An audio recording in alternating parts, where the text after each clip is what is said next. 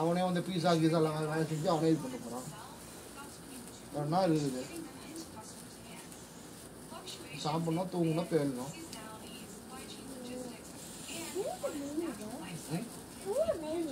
நேமா பாகிஸ்தான் அந்த ஆஷா பேபிடா